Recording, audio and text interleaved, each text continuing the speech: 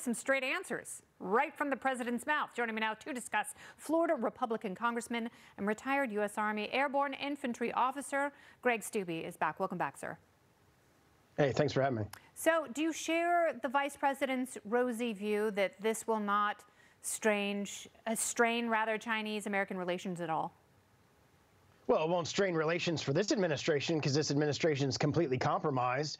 Uh, they've given billions of dollars to Joe Biden's son, and you know the big guy's taking his 10%. So for this administration, they don't care. They let this this this Chinese surveillance drone, this big huge balloon, for nine days traverse across our entire country. They knew about it from nine days. We had a, a, briefing for all members of Congress. They found out about it on the 27th.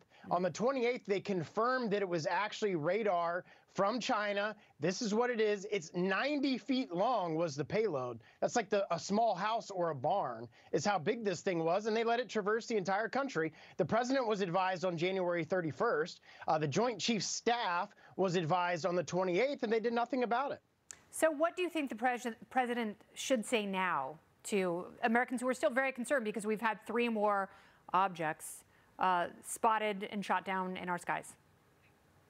Well, what's fascinating is even Justin Trudeau in Canada, of all places, is going on TV and telling his citizens what was going on and what their response was and how they're going to react to this. And Joe Biden sitting silent because either he doesn't know how to respond to this because they haven't told him what to say, or they're just, hey, let's just let this blow over. The mainstream media won't talk about it. Uh, only the conservative stations will talk about it, and we won't have to address it. Meanwhile, we have F-16s and F-22s and F-35 scrambling, shooting down now unknown objects, mm-hmm. uh, which are, I'm sure, made in China, and uh, without no, without any information from the president giving to the American people.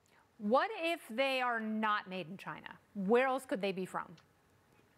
So one of the interesting things in the briefing was well, a question that was asked was, could these be some weather balloons or other type of uh, educational assets? And apparently the people that typically put those up in our country all said that it wasn't theirs. Mm -hmm. So if everybody in our country and all of the people that do these type of weather balloons say ain't ours, then you can point the finger at China, Russia, North Korea, some type of rogue country that wishes to surveil on the United States.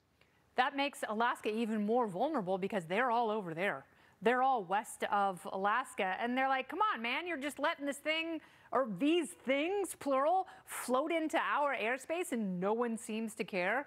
I'd be a little freaked out right now. Hopefully, you'll get more briefings and you can brief us on the briefings, which so far, Congressman, have been unsatisfactory.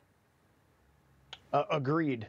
Absolutely. Right. Very good. From this administration, we don't get any information. We don't get anything. We just get, they downplay everything until it's an even bigger crisis, and then they blame right. the last administration. And that is not enough. That is not how you govern. All right, you know that. Thank you very much, Congressman Steube. Yep. Very good, good to see you. You too. Thank you. The Biden administration.